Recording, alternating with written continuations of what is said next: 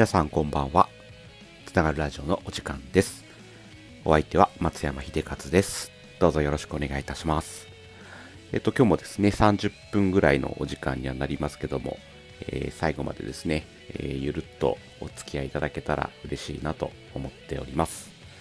はい。えーと、私はですね、今、青森県の津軽地方に住んでおります。えー今日はね、10月の29日で、あっという間ですね。もう、10月終わりですよ。早くないですか？なんかすっごい早いですよね。この前正月だったじゃあ言い過ぎかもしれないですけど、でもこの夏が結構暑かっただけに、9月下旬ぐらいまで暑かったじゃないですか。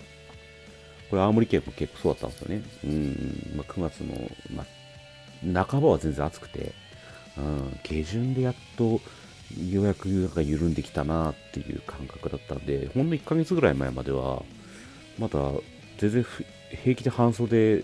だったんですよね、部屋の中でも。まあ、それが今となっちゃうね、もうフリース着てますよ、フリース。この1ヶ月のこの気温差たるやっていうとこですよね。いやー、ちょっと体が追いついてないです。うーん。で、山にもですよ、あの、雪も積もりまして、何回積もったのかななんかね、こっちのこう、地方の言い伝えじゃないんでしょうけど、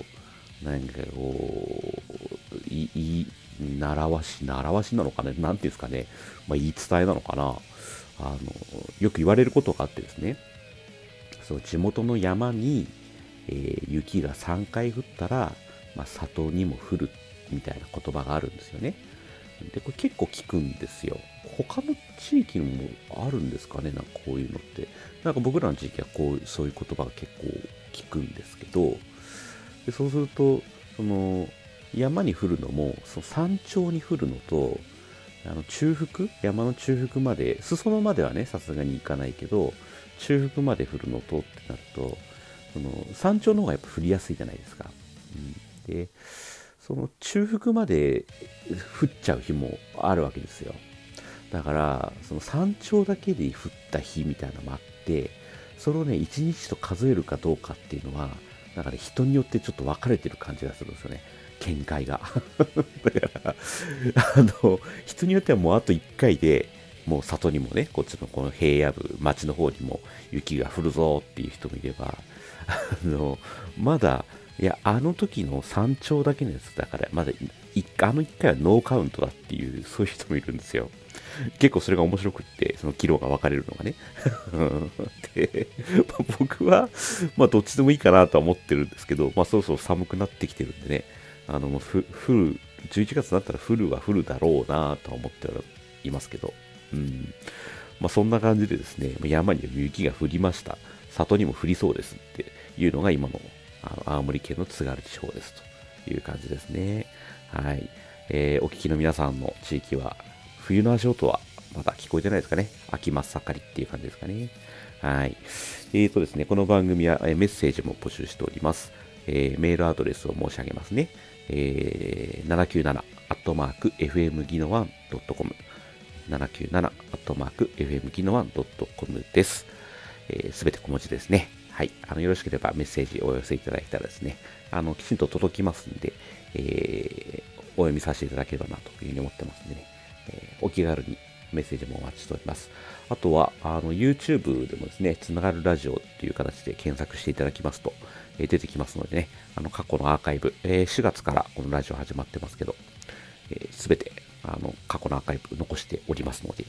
えーいろんなことね、お話してます。あの、もともと私、ユニクロの店長やってたりとかですね、えーなんかコンビニ業界行ってみたりとか、なんかいろんな仕事したんですけど、まあ、一番長いのがユニクロと GU の経験がね、やっぱ15年ぐらいから長いんですので、えーその時の経験談の話をこのラジオでもするし、したりとか、あとは、あのーこの青森県のね、ちょっとお話をしてみたりとか、うん、あと本当にもう本当気ままに配信してます。え自分の好きなこととか、触れてみたりとかですね、え、なんか本当に自由気ままにやってますんで、なんかあの作業用にでもですね、聞いていただければなというふうに思います。はい、えー、それでは今日もどうぞよろしくお願いいたします。この番組は青森県弘前市で創業46年、弘前アルミ証券の提供でお送りいたします。ガラスが割れてしまった。内窓をつけたい。玄関ドアをリフォームしたい。カーポートを設置したい。家の中に手すりをつけたい。お家の困りごとは何でもお任せください。この道一筋の職人が皆様のお悩みに寄り添います。今なら窓のリノベーションが補助金を使ってできる可能性があります。詳しくは弘前アルミ証券ホームページ、Facebook ページからお問い合わせください。改めましてお届けしておりますのはつながるラジオです。お相手は松山秀和です。どうぞよろしくお願いいたします。はい、えっと、今日のつながるラジオですね。えー、今日お話ししていこうかなと思っているのは、えー、地元のお話、私の地元である青森県のお話をちょっとしたいなと思っております。はいえー、この10月末からまあ11月にかけてはですね、えー、私たちのこう青森県の名産品、まあ、代名詞とても言えるかもしれませんけどね、えー、リンゴ。リンゴのですね、えー、収穫が、まあ、ピークを迎えてくる時期になります。うん、で、今日はそんな、まあ、お話をちょっとしていこうと思ってるんですけど、えー、私、今ですね、あのー、そんな収穫期真っ只中の、えー、リンゴ産業、リンゴの畑にですね、ちょっとお手伝いに行ってるんですよね。うん。で、9月から、9月の中旬ぐらいからかな、えー、週に2、3回ぐらい、お手伝いに行かせていただいてまして、うん、まあ私、別に農業の経験はですね、あの、全くないんです。全くなくて、えー、なんだったら、あの家の庭の土いじり、さえしたことございませんっていうぐらいですね、えー、まあ、農業に疎い、うん、なんか自分からはちょっと遠い存在だったんですけど、やっぱこう地元にですね、まあ、私、あの、U ターン組って言われてる、まあ、地元をこう一回離れて、で、いろんなところで働いて、で、まあ、20年ぶりぐらいに、この地元の青森県に帰ってきたんですよ。で、やっぱちっちゃい頃というかね、まあ、僕は高校卒業まで地元で暮らして、そこから離れちゃったんですけど、そこから20年近く離れてたんですけど、あのー、やっぱその子供の頃から、まあ、18歳ぐらいまで、えー、見て、見えている、その青森県の景色と、こう自分がいろいろ勤めてきて仕事をして、まあ、全国いろんなところに住んだんですけど、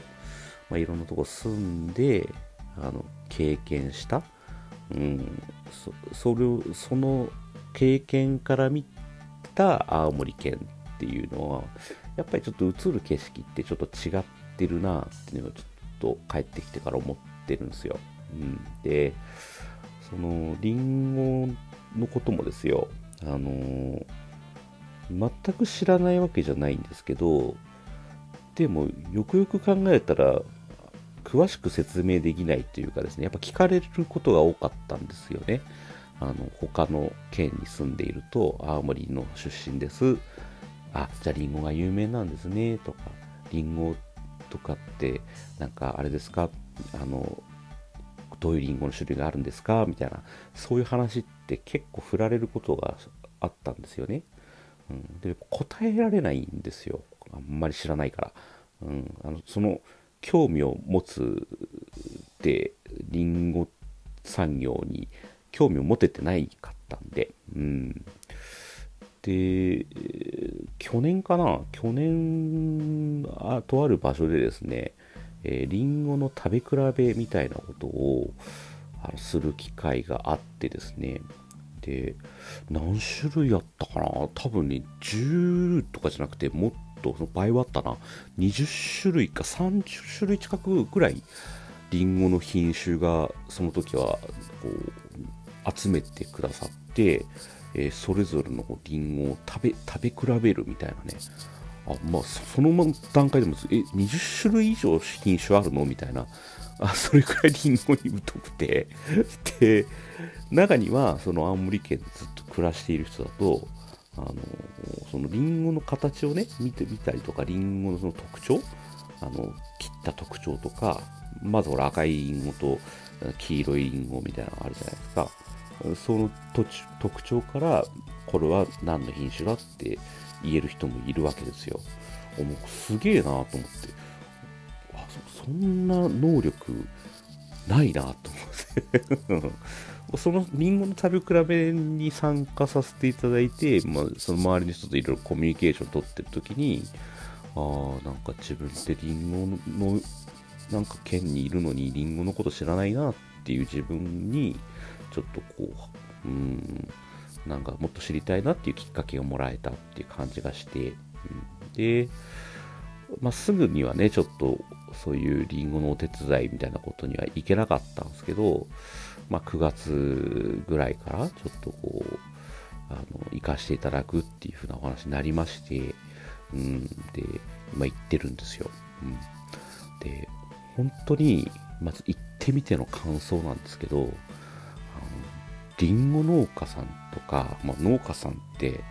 本当にすごいと思います。めちゃくちゃすごい。で朝は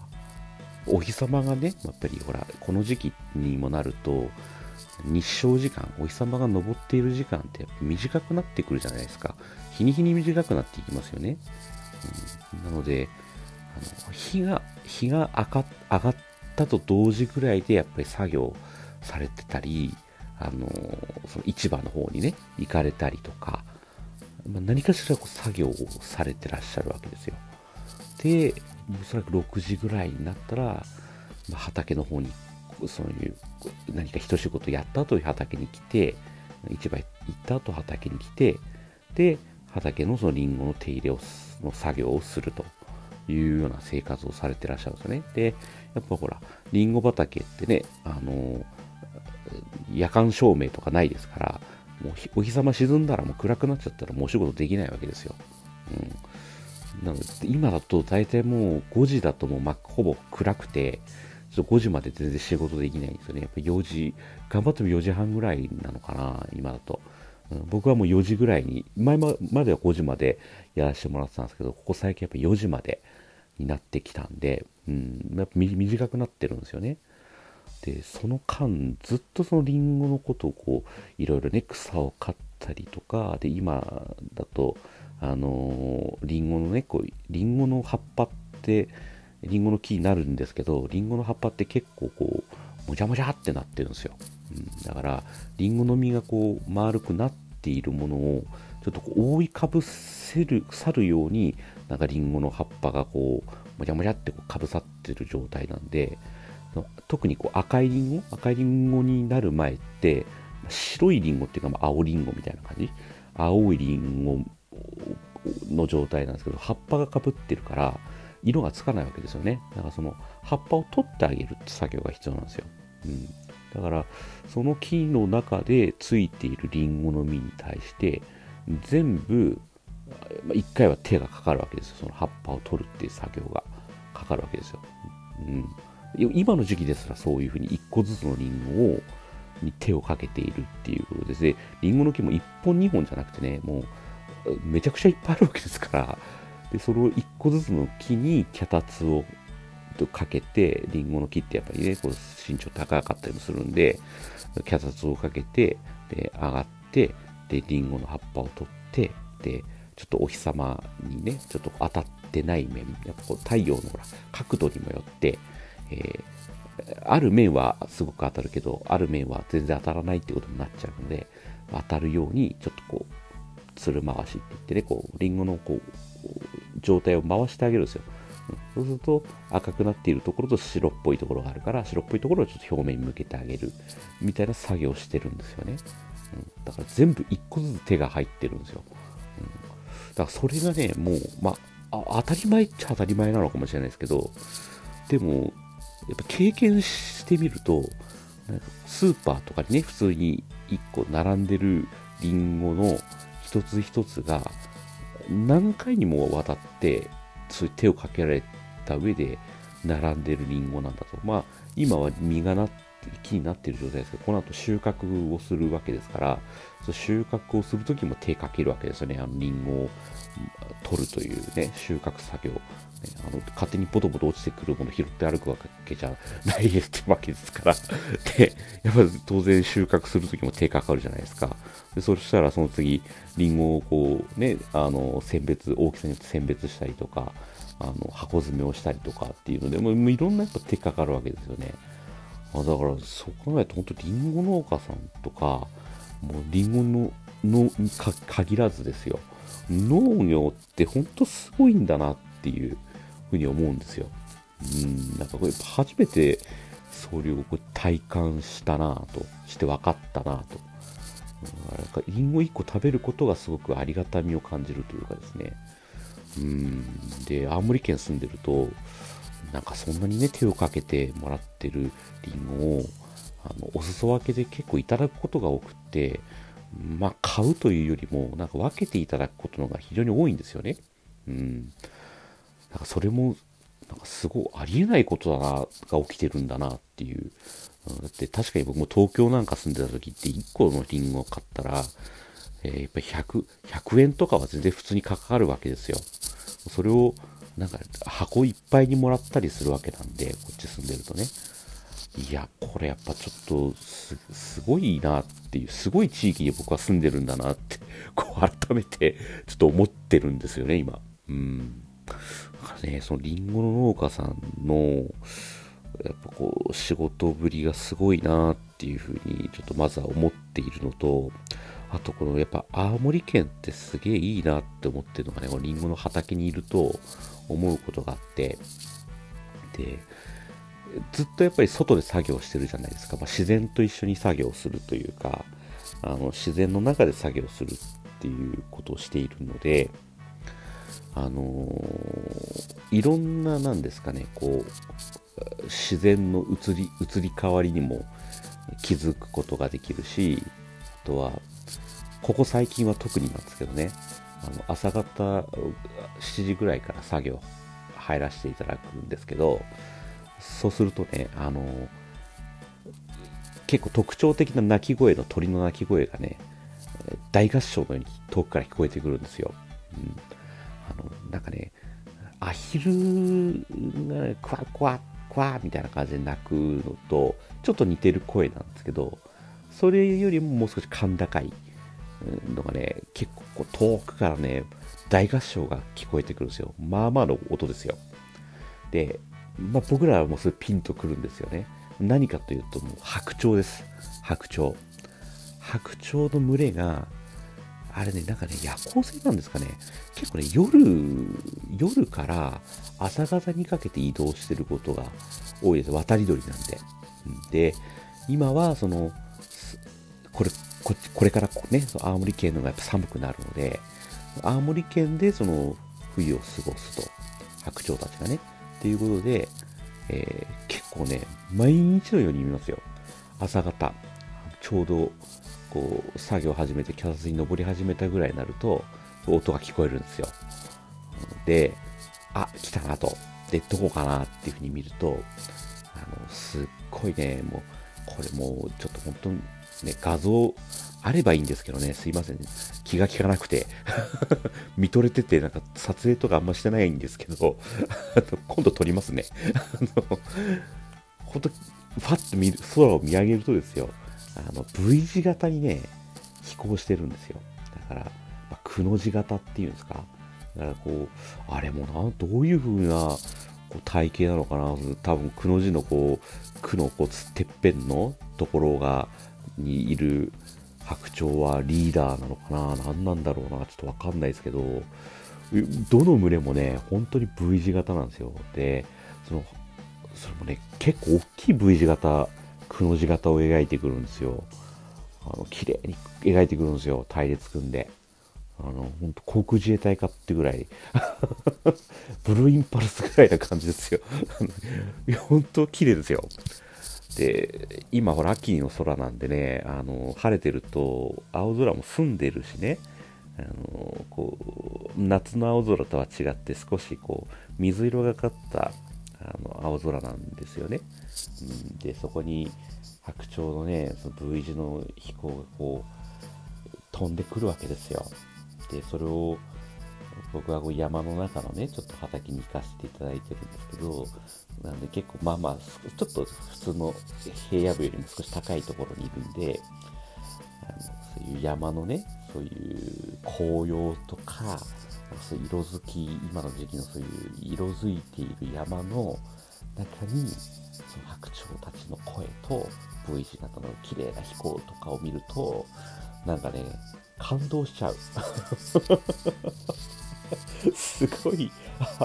すげえなんか、すげえいいところで今、作業させていただいてるな、みたいな。なん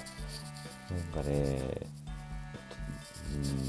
うん、やっぱこう感性、感覚も多分若い時とちょっと変わってきてるんだと思うんでね。うーん、なんかそれをこう、皆さんに共有する、したいとはそんなつもりじゃなくて、私はそういう風に感じたっていう、その喜びをちょっと共有したいっていう気持ちなんですけど、すごい綺麗なんですよ。なんかね、ああ、すごい自然の中で働くっていうのは、こんなになんかすごいんだなと。うんで、今まで、今までの仕事がダメだったとかそんなことじゃないですよ。そんなことじゃなくて、でもどっちかっていうと僕パソコンに向かうことの方が多い仕事をしてきたんで、あの、そういう建物の中でね、働くっていうことが多かったんです。ちょっと初めてそういう自然の中で働くっていう経験をさせていただいて、あ、なんかこれってやっぱり、なんか人間の原点に近いものがあるんだろうなっていうのをですね、感じてます。何の話をしてたんでしたっけ？はい。まあ、そんな、なんかね、青森ってすごくいいなっていうふうに思ってるんですよ。その、やっぱ、あの、もちろん、他のね、えー、地域の皆さんにも農業はあるし、りんごじゃなくても自然とこう働いているっていうかね、自然と調和しながら働いてるっていうことはたくさんあるので、なんかね、あの、一度でいいから、ちょっとそれをこう体験してみるのは、長い人生の中でも、こういい、ことなんじゃないかなと。うん、なんか決して損にはならない経験なんじゃないかなっていうふうには思いますね。うん、そうなんですよね。なんでこう、今こうリンゴの畑に来させていただいてて青森県の良さを実感してますっていうまあそんなお話をねちょっと今させていただいたんですけど、うん、で特にこの11月にも今入ろうとしてる時期ですからもう冬が近づいてくるっていうのがもうすごくこうひしひしと分かってるわけですよ。もう寒いし、朝晩寒いし、車乗ろうとすると曇ってるし、朝露ついてるし。で、そのうち多分もう少ししたら、あの、凍ります。あの、朝車乗ろうとすると、普通に、ウィンドウが凍ってる。今は朝露になってるけど、凍っちゃってる時期が来てとか、そうすると霜が降りてきて、霜柱が立ってとか、うん、で、で、部屋にも雪が降ってとか、なんかね、そういうスタッドレスタイヤに履き替えてとかっていう、そういう一連の冬自宅みたいなのが、もう11月入るとね、ちょっと始まりますよ。で、我が家でもですね、あの、えー、雪国の人っていうのは、まあ、庭があると、その庭にね、雪が積もると庭の木とか、あと植えてるお花とか、そういうものが、雪に埋もれてしまう。で、えー、立ち木、そういうね、木とかはやっぱり雪の重みとかで、えー、潰れてしまったりもするので、それをこう守るために雪が、雪囲いっていうことをするんですよ。だから木を守るために、えー、なんかこう、ちょっとね、こう囲ってあげる。雪から。まあ、屋根を作ってあげるみたいなイメージですよね。一つ一つの木に屋根を作ってあげて、雪から守るようにしてあげるみたいな、それを雪が囲いって言うんですけど、そういうことをですね、それぞれのお庭でやるんですよ。うん。で、我が家はですね、多分11月入ったらちょっと始まるんですけど、まあ、どこのか、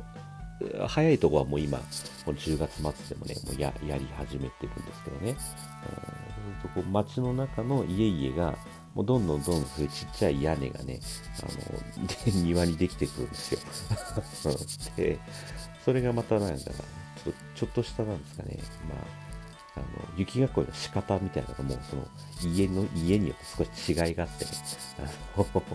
やり方がちょっといろいろあるんですよ。そういうのを見るのもちょっと面白かったりするし、うん、でなんか綺麗にやっぱり雪囲いしてるところもあればあのちょっとこうなんですかね、えー大大雑把なところもあって、それもダメじゃないんだけど、あの面白いですね、見てると。で、あんまり自分は雪囲いをするっていうことを今までしたことがなくて、どちらかというと父親があの先導を切ってやっていくっていう仕事だったんで、あんまやってないんですけど、今年はね、ちょっと教えてもらおうかなと、うん、思ってますね。うん。雪囲いのやり方。うん、何気にちょっと青森県人ではあるんですけどね。いかんせん20年離れてましたもんで、うん、あんまり、もう実質2年生ぐらいなんですよ、今。だから、リンゴのことを知るのも2年目みたいな。だし、雪もね、まあ、もちろん住んでた時は経験してますけど、でもそういう、ほら、雪囲いもそうだけど、スタッドレスタイに履き替えるみたいなのも、雪のない地域に住んでたことが多かったんで、夏タイヤのままで全然いいわけですよね。スタートレスタイヤ持ってなかったし、帰ってくるまで。何そのややれてないこと実は多くて、正直言うとタイヤの履き替え方もね、あんまりよくわかってないです。なので、今年の冬はそういうこともね、ちょっと学んでいきたいなというふうに思っております。はい。ということでですね、あっという間にこのエンディングのお時間を迎えることになりました。えー、それではですね、また来週同じ時間にお会いしたいなというふうに思います。えー、皆様、最後までお聴きくださりありがとうございました。えー、ではまた来週です。失礼いたします。